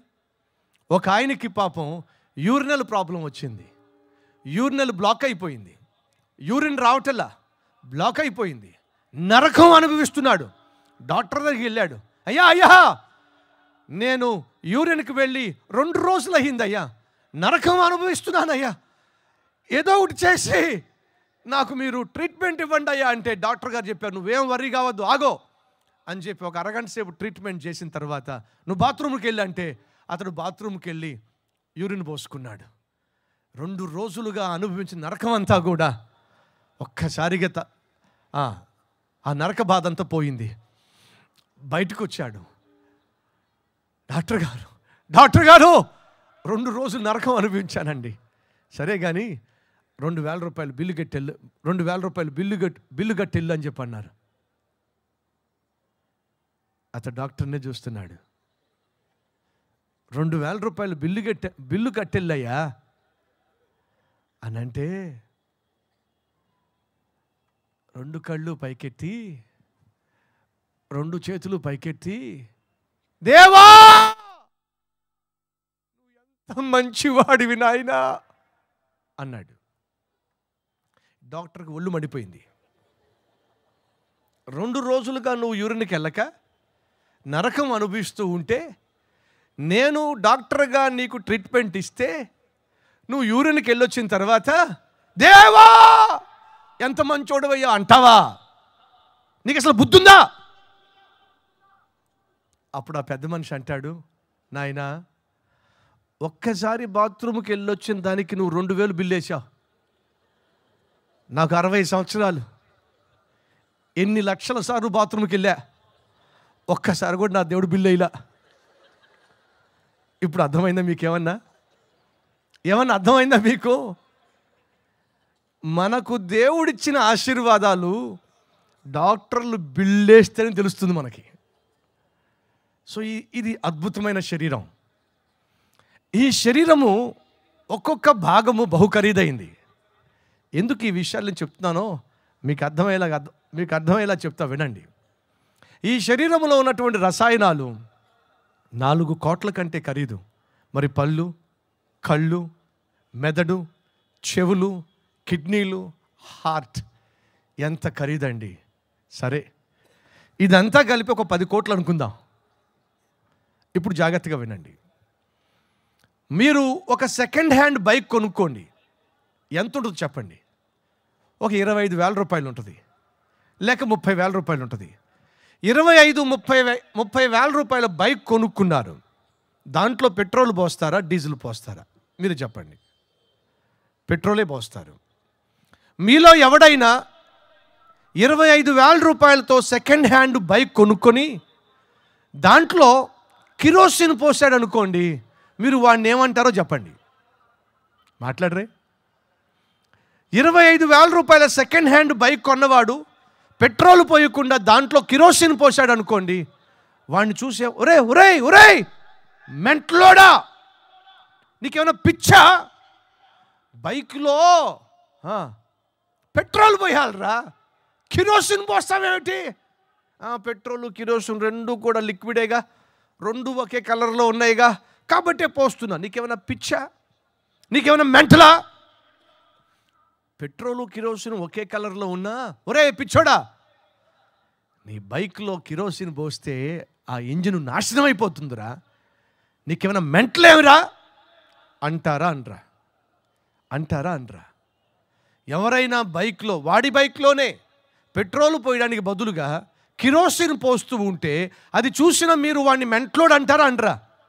సరే మీలో ఎవరైనా పెట్రోల్ బ పెట్రోలు ట్యాంకులో కిరోసిన్ పోసిన వాళ్ళు ఉన్నారా? ఉంటే చే చూపించండి. ఎవరైనా ఉన్నారా?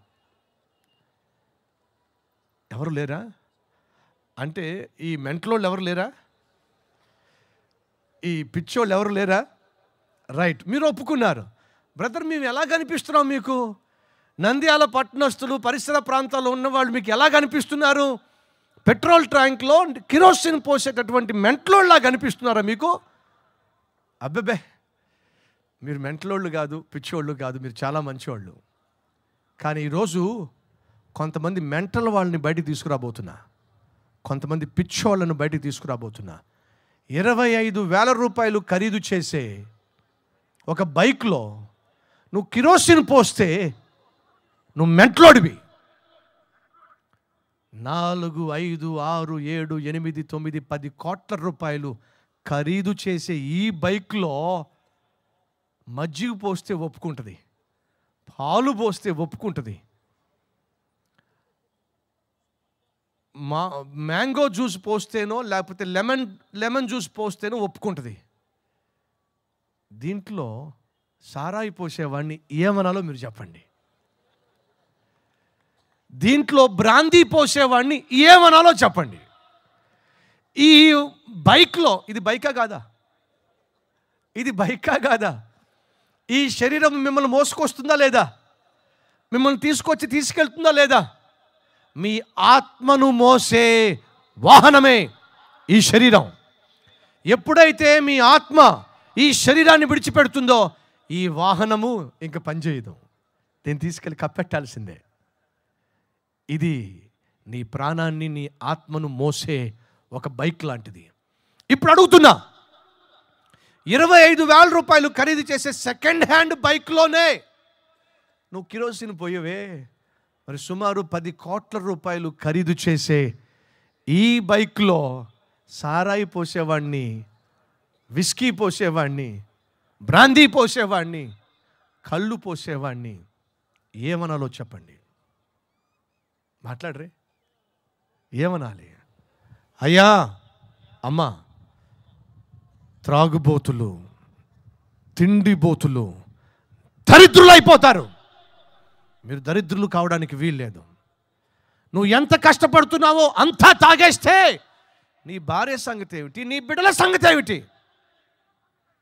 అమ్మ సిస్టర్స్ కూర్చున్నాం అక్కడ నిలబడిన వాళ్ళు. ఆ పసుపు శారీ. మీ శరీరము దేవుని ఆలయము. దీన్ని ఎవడైనా పాడు చేస్తే వాడిని నేను పాడు చేస్తాను దేవుడు సెలవిచ్చాడు. త్రాగుడుతో దయచేసి మీ శరీరాన్ని పాడు చేసుకోమాకండి. రెండు కొంతమంది సిగరెట్లు గాలుస్తారు. అది కూడా దురలవాటే. ఒకరోజు నా ఫ్రెండ్ ఒక అతను నాతో పాటు పనిచేసే ఒక అతన్ని ఉద్యోగం చేసే రోజుల్లో నా పక్కన ఉండేవాడు. అడిగాను నువ్వు సిగరెట్లు కాలుస్తున్నావు కదా? ఎన్ని సిగరెట్లు కాలుస్తావు రెండు పెట్లు కాలుస్తాను సార్. ఎంత అవుతుంది రోజుకి? నలభై రూపాయలు సార్. ఎంత వస్తుంది నీ జీతం? మూడు వేల రూపాయలు సార్. వినండి బ్రదర్స్ అలాగే సిస్టర్స్. మూడు వేల రూపాయలు సంపాదిస్తున్నావు. సరే నీ పిల్లలకు చక్కని బట్టలు కుట్టిస్తావా? ఎక్కడ సార్? డబ్బులు ఎక్కడ సార్? గ్లాసు నిండా వాళ్ళకు పాలు ఇస్తావా? పాలు ఎక్కడ ఇస్తాను సార్? హార్లిక్స్ కానీ బూస్ట్ కానీ బోర్న్విటా కానీ నీ పిల్లలకు తాగిస్తావా? ఊరుకోండి సార్ ఏం మాట్లాడతారు మీరు?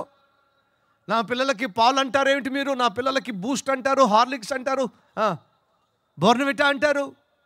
ఇవన్నీ నేను నా పిల్లలకి ఎక్కడి నుంచి తీసుకురావాలి సార్ డబ్బులు? సహోదరులు వినండి. సహోదరులు వినండి. ఏమంటున్నాడు? నా పిల్లలకి పాలు నా పిల్లలకు పెరుగు నా పిల్లలకి బూట్లు నా పిల్లలకు చొక్క కొత్త బట్టలు ఎక్కడి నుంచి వస్తాయి సార్? నేను సంపాదించేది మూడు వేలు సార్. ఈ మూడు వేల రూపాయలతో నా పిల్లలకి పాలు పెరుగు కొత్త బట్టలు బూట్లు మంచి స్కూలు ఎక్కడి నుంచి సార్? ఓరి దుర్మార్గుడా రోజుకి ఎన్ని పెట్లు అవుతున్నావు రెండు పెట్లు. ఎంత ఖర్చు చేస్తున్నావు? నలభై రూపాయలు. నెల అయ్యేసరికి ఎంత నీ త్రాగుడు కోసం ఖర్చు చేస్తున్నావు? పన్నెండు వందల రూపాయలు. ఓరి దుర్మార్గుడా.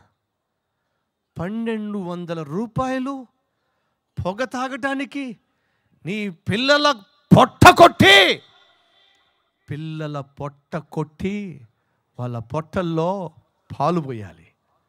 వారి పొట్టల్లో పెరుగు పోయాలి. వారి పొట్టలో కడుపు నిండా భోజనం పెట్టాలి. వారి పొట్ట కొట్టి నువ్వు నీ పొట్టను పొగతో నింపుకోవడము సారాయితో నింపుకోవడము అడుగుతున్నా మానవత్వమేనా? మానవత్వమేనా? జంతువులు కూడా వారి పిల్లలను ఇంత హీనంగా చూడనే చూడవు. ఈరోజు మనిషి మనిషే కానీ జంతువు కంటే హీనంగా తయారవుతున్నాడు. పిల్లల్ని పట్టించుకోకుండా త్రాగుతూ తిరుగుతూ సంపాదించే సంపాదన అంతా కూడా పనికి మాలిన చెడ్డ వ్యసనాలతో శరీరాన్ని పాడు చేసుకుంటున్నాడు కుటుంబాన్ని పాడు చేసుకుంటున్నాడు బిడ్డల భవిష్యత్తును కాల రాసేస్తున్నాడు ఎంతకాలం ఇలా జీవిస్తావు సహోదరుడా? ఎంతకాలం ఇలా బ్రతుకుతావు సహోదరి? ప్రపంచంలో బహుభయంకరమైన పాపములో ఒకటి త్రాగుబోతనం. త్రాగుబోతులు నరకానికి వెళ్తారు. త్రాగుబోతు ఉన్న కుటుంబము భూమి మీద నరకాన్ని చూస్తుంది. ఎంతకాలం నీ భార్యకు నీ బిడ్డలకు నరకం చూపిస్తావు? ఈరోజైనా నీ జీవితాన్ని మార్చుకుంటే ఎంత బాగుంటుంది? చివరిగా ముగించేస్తున్నా. ప్రపంచంలో ఉన్న బహు ప్రమాదకరమైన పాపాల్లో అతి ప్రమాదకరమైంది వ్యభిచారం. ఏమిటది? వ్యభిచారం. నీకు భర్త ఉన్నాడు పరాయి పురుషుడు కావాలి.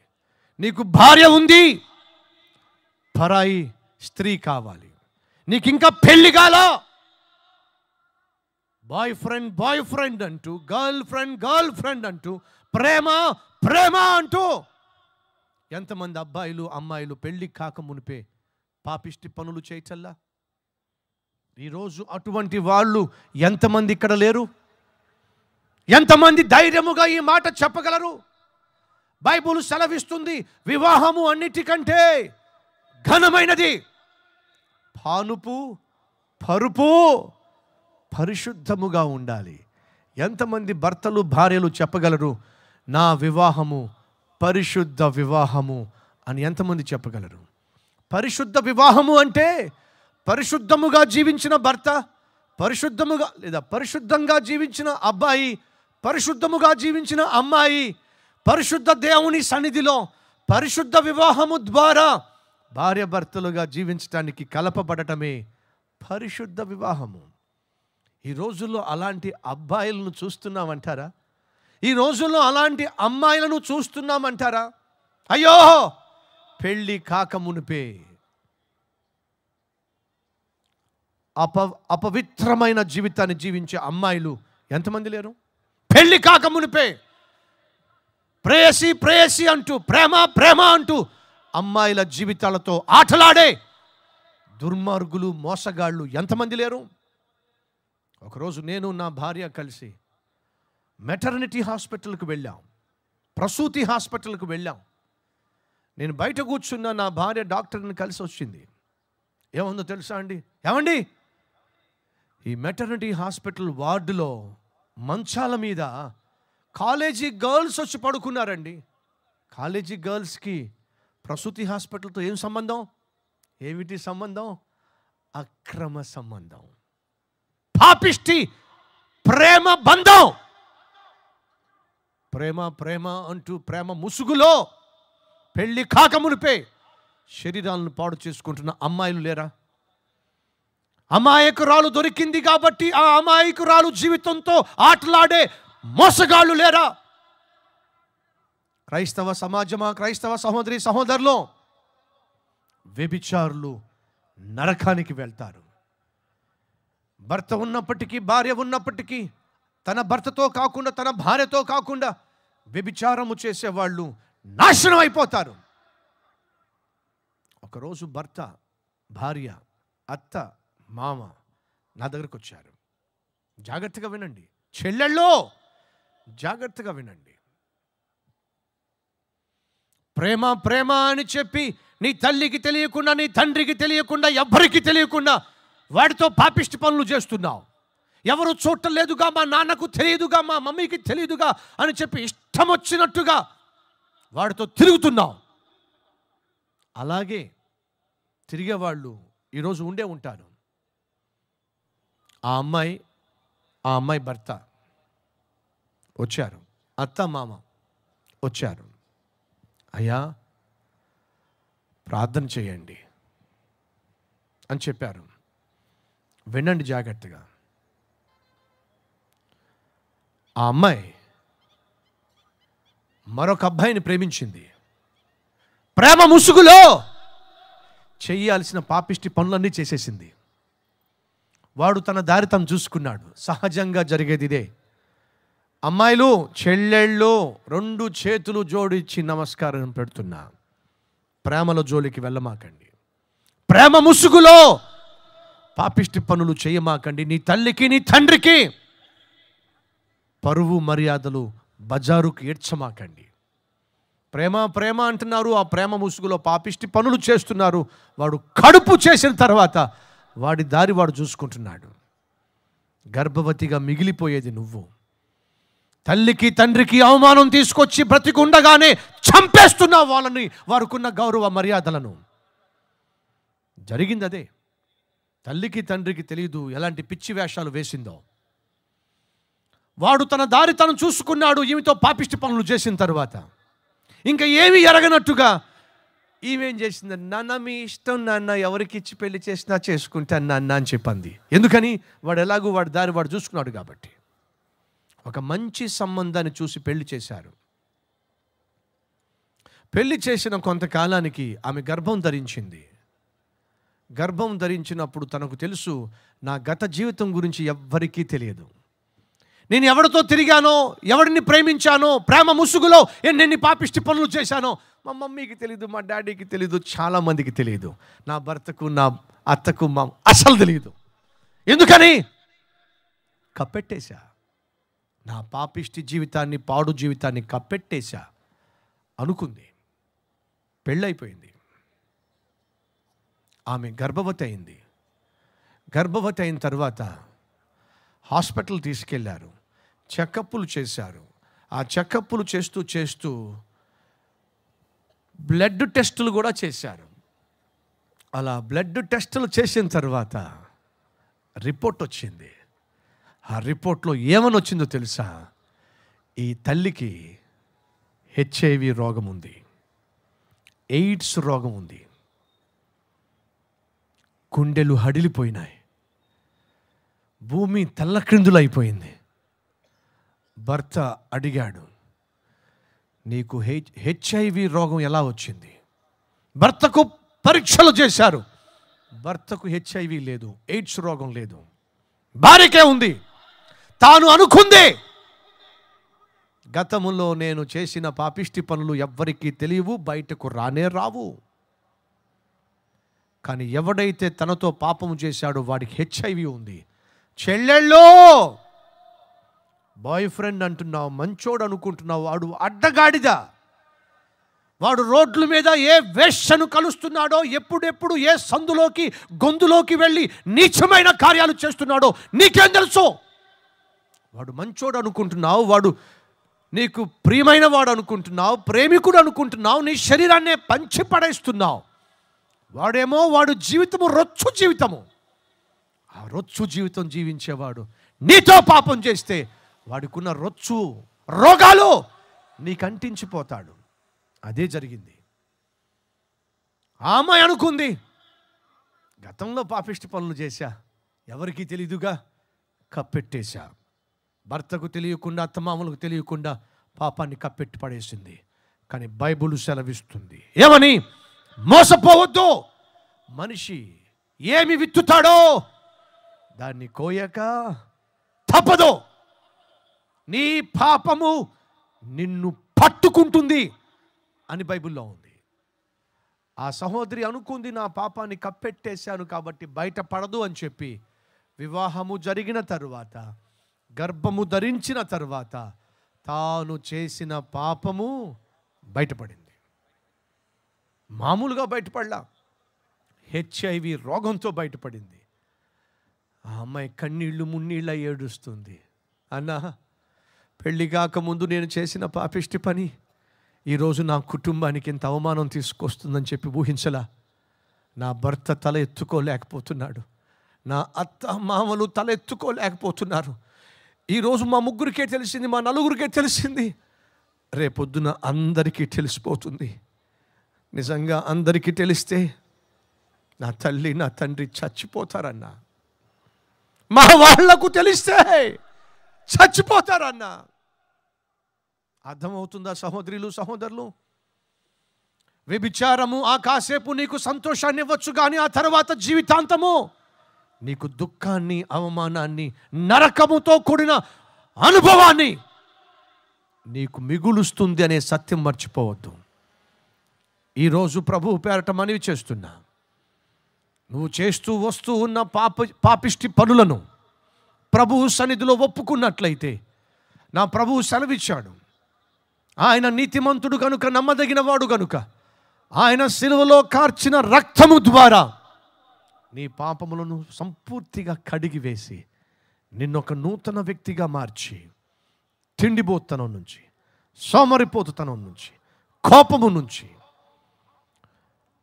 వ్యభిచారము నుంచి నిన్ను విడిపించటానికి నా ప్రభువు సిద్ధముగా ఉన్నాడు. త్రాగుబోతుతనము నుంచి దురలవాటుల నుంచి దుష్ట వ్యసనాల నుంచి ఈ రాత్రి నా ప్రభు నిన్ను విడిపించడానికి సిద్ధంగా ఉన్నాడు. విడుదల పొందుకోవడానికి నువ్వు సిద్ధంగా ఉన్నావా?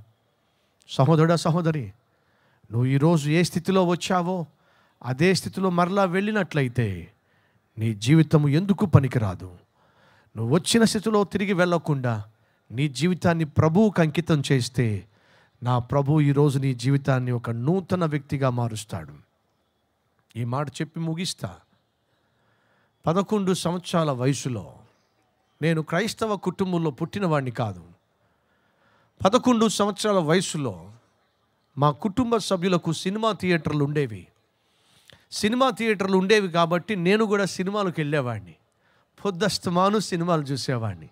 ఆ సినిమాలో సిగరెట్లు హీరో ఎంత గమ్మత్తుగా కాలిస్తే అంత గమ్మత్తుగా నేను కాల్చేవాడిని.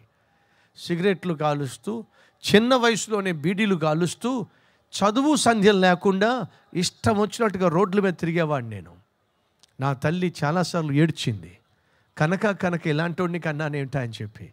చదువు సంధ్యలు లేకుండా ఇంటికి అవమానం తెచ్చేటటువంటి కొడుకును కన్నానేమిటా అని చెప్పి. అనేక సందర్భాల్లో ఏడ్చింది. ఒరే ఒరే దేవుడు ఆ దేవుడు ఎవరినైనా మార్చగలడేమో కానీ నిన్ను మాత్రం మార్చలేడురా. అంతగా చిన్న వయసులోనే అల్లరి చిల్లరిగా జీవించడం మొదలుపెట్టాను. నా తల్లి ఏడ్చింది. దేవుడు ఎవరినైనా మార్చగలడేమో కానీ నిన్ను మార్చలేడు. స్కూలుకి వెళ్ళేవాడిని కాదు. సరిగా చదివేవాడిని కాదు. సినిమా వాల్ పోస్టర్లు వేస్తున్నారంటే పరుగు పరుగున వెళ్ళి ఆ వాల్ పోస్టర్ చూడాలి ఏ సినిమావో చూడాలి పరుగు పరుగున సినిమా హాల్కి వెళ్ళిపోవాలి. సినిమాలు చూస్తూ సిగరెట్లు కాలుస్తూ చిన్నప్పుడే పేకాట ఆడుతూ క్యారమ్ బోర్డు ఆడుతూ డబ్బులు సంపాదించేవాడిని. చిన్న వయసులో. నా తల్లి అన్నమాట నాకు ఇంకా జ్ఞాపకమే. దేవుడు ఎవరైనా మార్చగలడు కానీ ఎవరినైనా మార్చగలడు కానీ నిన్ను మాత్రం మార్చలేడురా. అంతగా పాడైపోయావు నువ్వు అని ఏడ్చేది. అటువంటి సమయంలో యేసుక్రీస్తు ఎంత గొప్ప దేవుడో యేసుక్రీస్తు ఎటువంటి వ్యక్తినైనా ఎలా మార్చగలడో ఆ యేసుక్రీస్తును గూర్చినటువంటి శుభవార్త మా గ్రామంలో ప్రకటించబడినప్పుడు నిజంగా యేసుక్రీస్తు జీవితాలు మారుస్తాడా? ఈ చిన్న వయసులోనే ఇలాంటి దురలవాట్లకు బానిసనైపోయిన నన్ను యేసు నిజంగా మార్చగలడా అని నేను ఒకరోజు మోకాళ్ళ మీద పడి ప్రభువుకు ప్రార్థన చేశా. అయ్యా మా మమ్మీ అంటుంది దేవుడు కూడా నన్ను మార్చలేడని. మరి సువార్త చెప్తున్నారు యేసు ఎటువంటి వారినైనా మార్చగలడని. మా ఊర్లో నేను ఎంత పాడైపోయానో ఎంతగా చెడిపోయానో అందరికీ తెలుసు నాయన. నిజంగా మార్చగలవా? అయితే నన్ను మార్చు. మోకాళ్ళ మీద పడి నా జీవితంలో చేసిన మొట్టమొదటి ప్రార్థన. చిన్న వయసులోనే చదువు సంధ్య లేకుండా పాడైపోయా. తల్లికి తండ్రికి అవమానకరంగా మిగిలిపోయా. పనికి మాలిన అలవాట్లకు చిన్న వయసులోనే బానిసనైపోయా. నన్ను మార్చగలవా? ప్రార్థన చేశా. అలా ప్రార్థన చేసి మోకాల మీద నుంచి లేచా. ఆ రోజే నా జీవితంలో నేను సిగరెట్టు కాల్చిన చెట్ట చివరి రోజు. సినిమా హాలుకు వెళ్ళిన చెట్ట చివరి రోజు. ఈ పాపిష్టి అలవాట్లకు బానేసినాయి. వాటిని విడిచిపెట్టిన రోజు. నా దేవుడు నా జీవితాన్ని పూర్తిగా మార్చిపడేశాడు. ఒక నూతన వ్యక్తిగా నా జీవితాన్ని తీర్చాడు. ఆ విషయం నా ఫ్రెండ్స్కి తెలుసు మా ఊరు వాళ్ళకి తెలుసు మా క్లాస్మేట్స్కి తెలుసు. ఏమని? చిన్న వయసులో సతీష్ కుమార్ని దేవుడు దర్శించాడు. తాను కలిగి ఉన్న పాపిష్టి జీవితం నుంచి దేవుడు విడిపించాడు.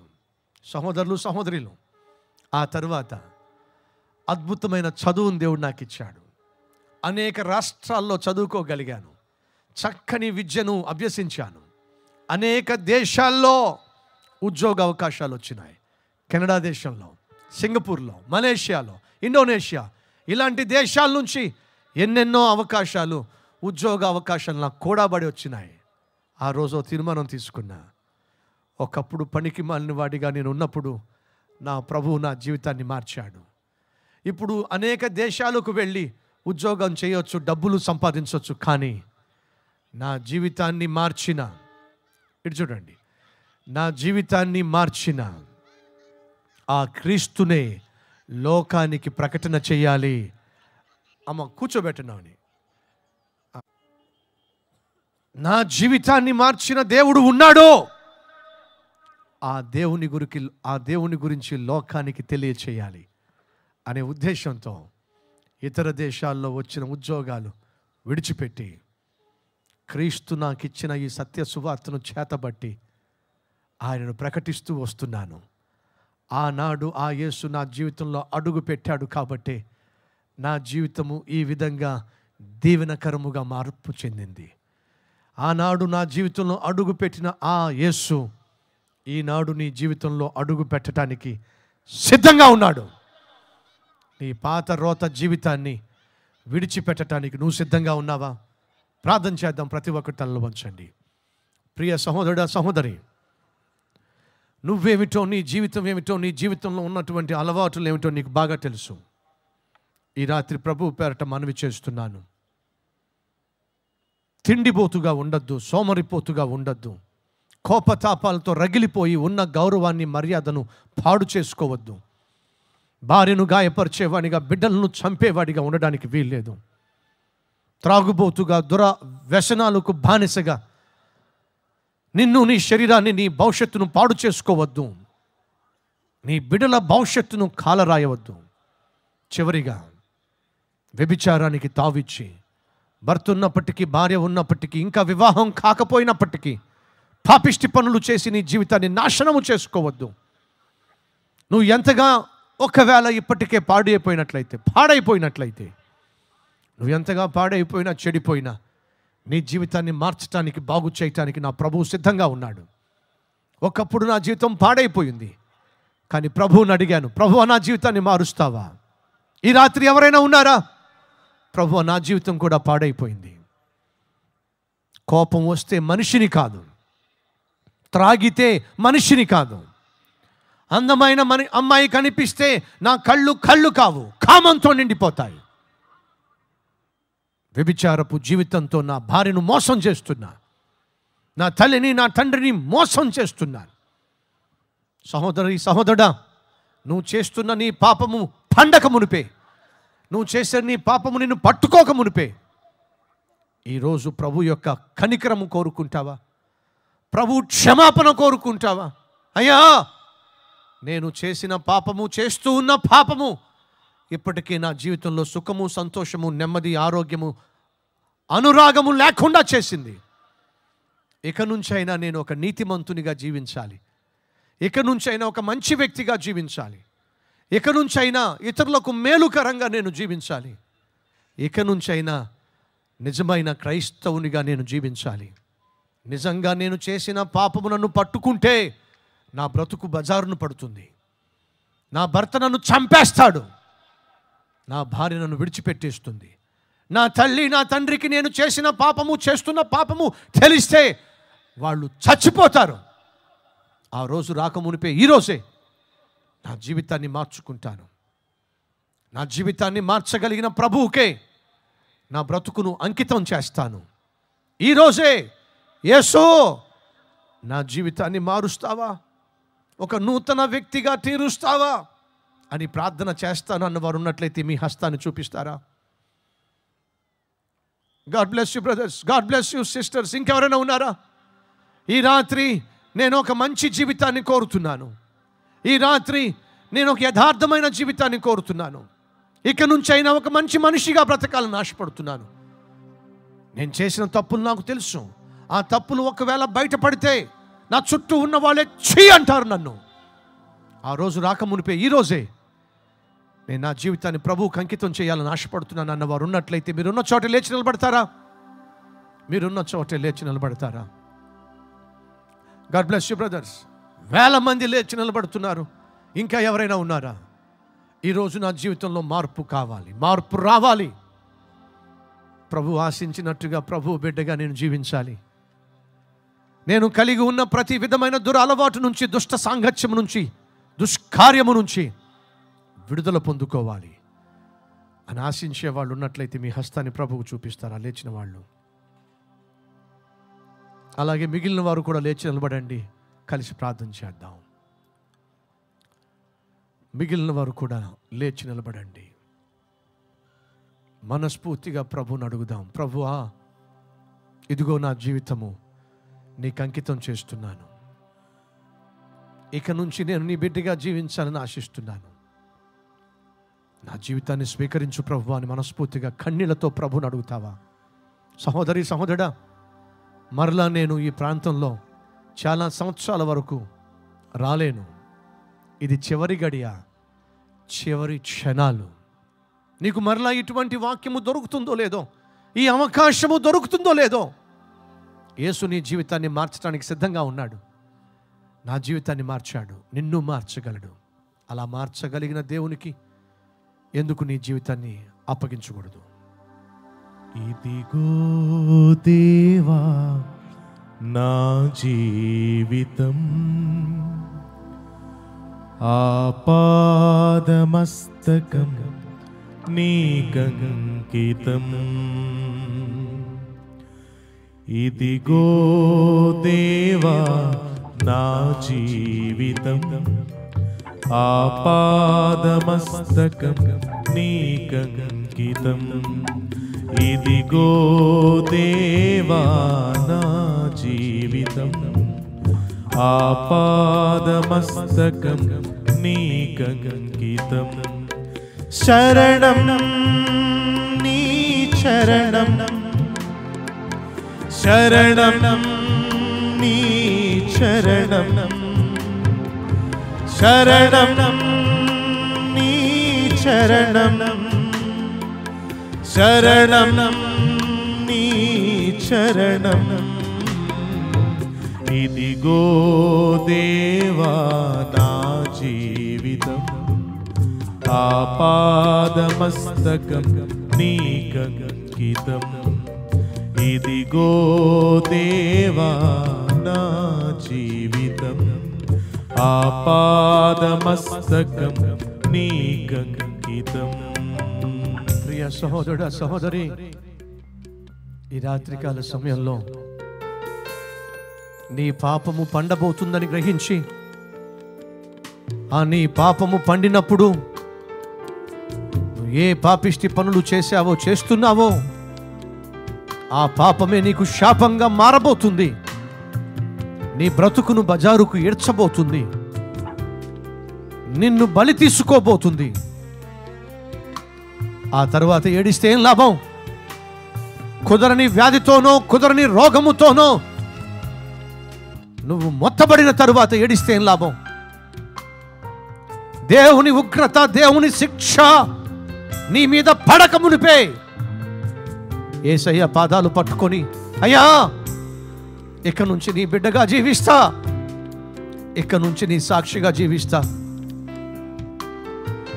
నీ పాదముల చెంత చేరి నీ చిత్తంబు నేనెరుగ నేర్పు.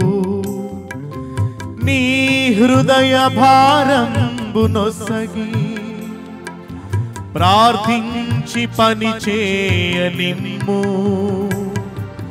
నీ పాదముల చెంత చేరి నీ చిత్తంబునే నెరుగ నేర్పు. నీ హృదయ భారంబునొసగి ప్రార్థించి పని చేయనిమ్ము ఆగిపోక సాగిపోవు. ప్రియసుతునిగా పని చేయనిమ్ము ప్రతి చోట నీ సాక్షిగా ప్రభువా నన్నుండని ఆగిపోక సాగిపోవు.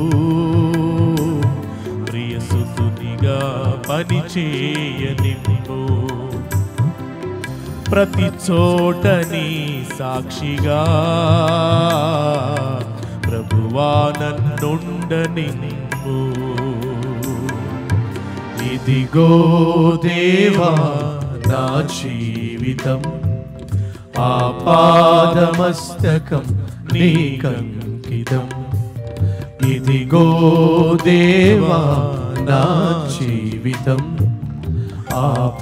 ఆపాదమస్తకం నీకంకితం శరణం నీ చరణం శరణం నీ शरणं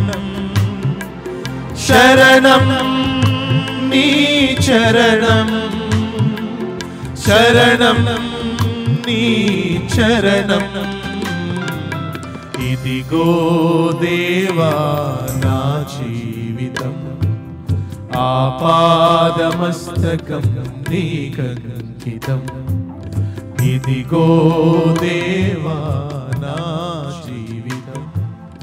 ఆపాదమస్తకం